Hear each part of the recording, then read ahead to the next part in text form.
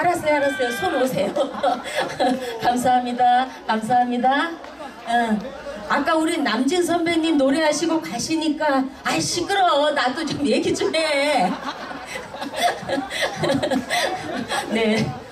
아니 예, 남진 선, 선배님 가시니까 다들 가셔서 내가 속상했어요. 왜 남수란이 맨 뒤에 시키냐 그랬더니 남수란이 내일 모레 뜬대요. 그래가지고 뒤에 기다리라 그래서 아주 즐거운 마음으로 기다렸어요. 내일 모레 뜨겠어요?